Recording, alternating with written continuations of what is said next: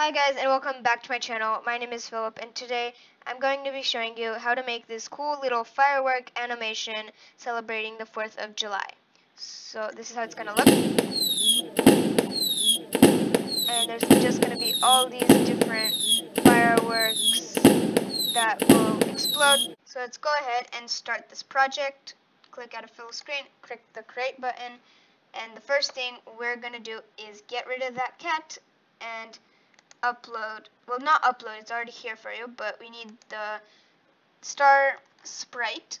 So get the star sprite and then we need to start coding. So when green flag clicked, forever, we needed to go to like a random position because this star is not going to be doing anything. It's going to be creating clones and those clones are going to do that thing.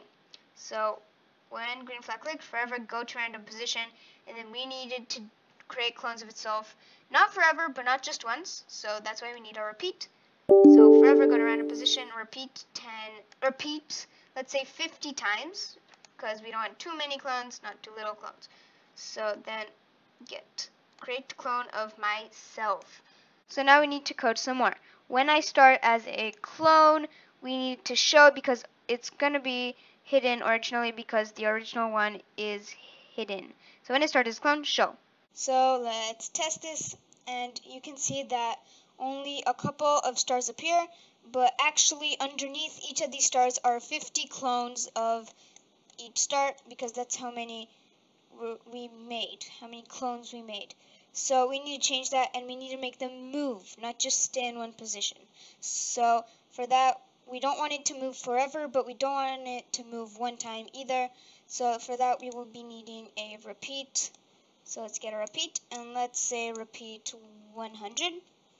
And inside of that 100, repeat 100, we need to move. And how it moves is a change y by something and a change x by something.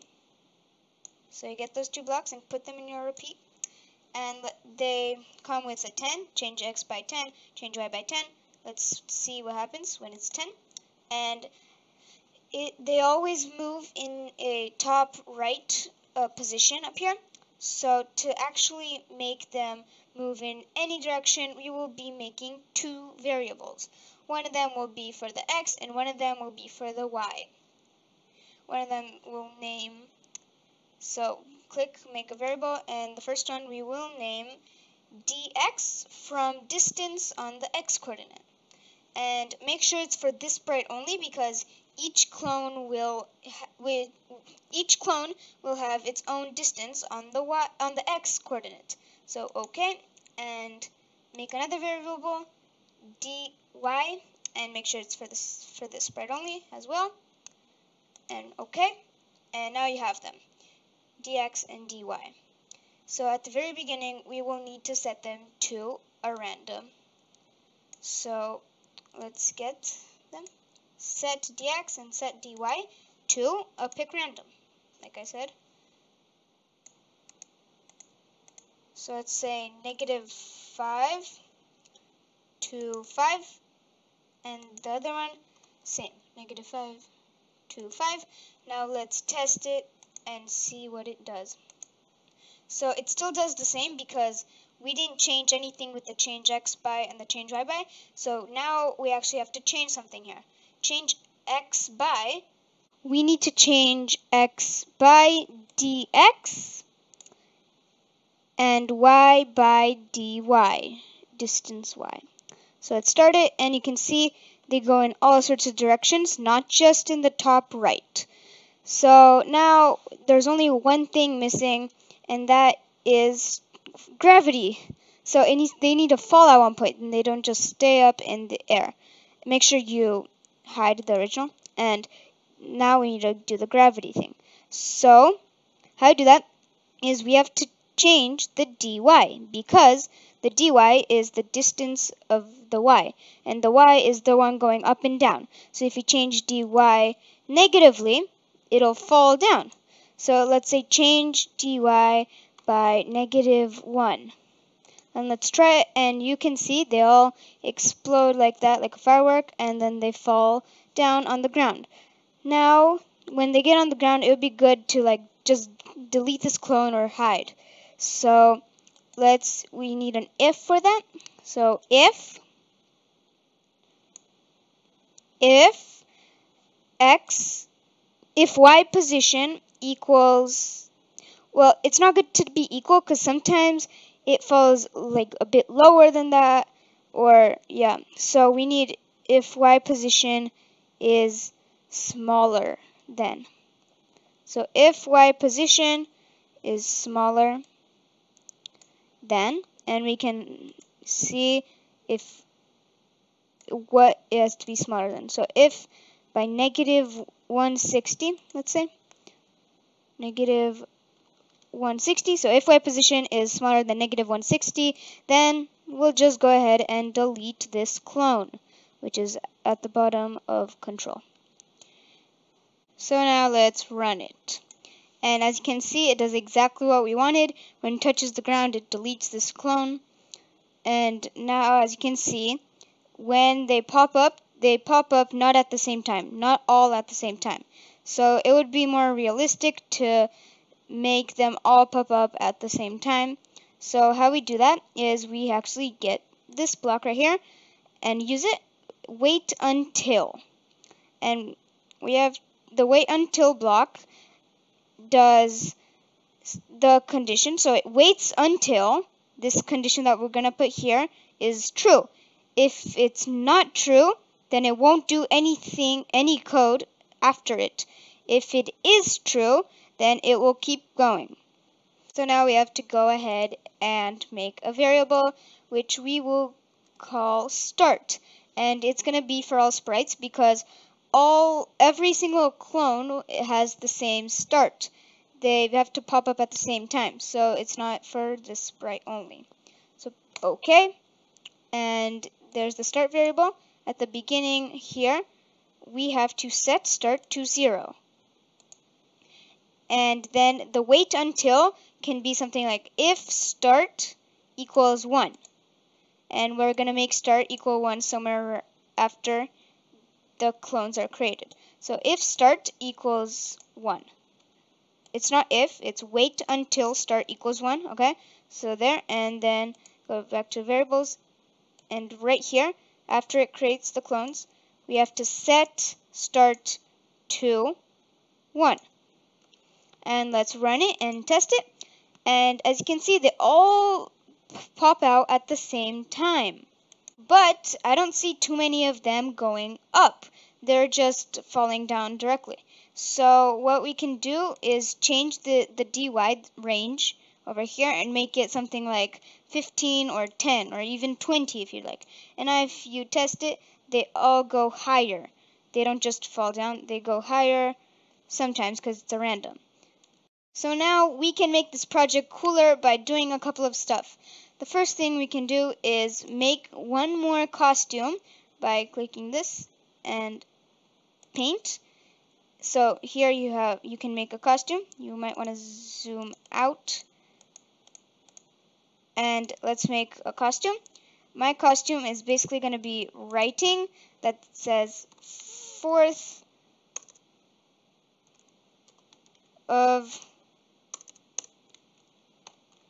July. And that we can center and of course you can write whatever you'd like and as you can see over here it works but now there's no stars so we need to change the costume at the beginning here so switch costume to and then we can do a random switch costume to pick random 1 to 2 because there's only two costumes and when we run it, you can see sometimes the 4th of July writing, sometimes the star. Another cool thing we can do is change the color effect of the star or the writing. So if you go to looks, there's this code block right here. Change color effect by 25 or you can pick. I'm going to go with 10. Let's see what happens then.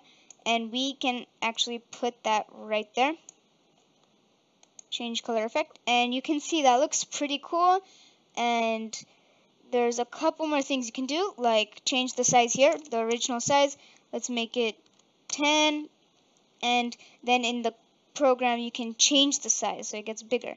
So we can put that right there. And we can do, that's a bit too big it turns, so we can do change size by a pick random. And we can do pick random uh, 1 or like let's say 10 to 20 or let's see. That is even bigger. So let's try actually 1 to 10 see how that works out. And that's pretty cool it's still pretty big so let's try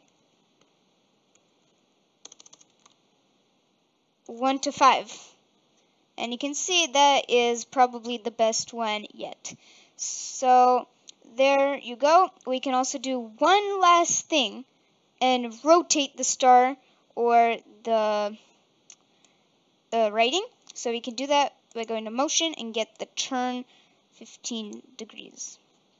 And right now they're turning, see? But they're only turning that way.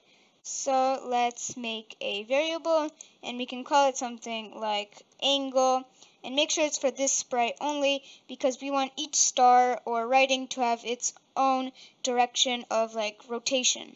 So okay, and let's at the very beginning here we need to set angle to let's do a pick random from let's say negative 5 to 5 and then over here we need it to turn angle degrees so we can do that and make sure you uncheck all these unless you want to see them on the screen. And you run it and it works. They rotate in their own direction. Now don't forget to name your project over here. I'm going to name it Fireworks. Then you can go ahead and add a background if you'd like. I am going to look.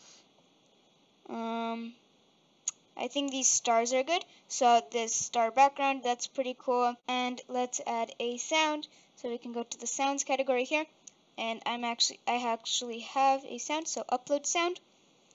And it's right here.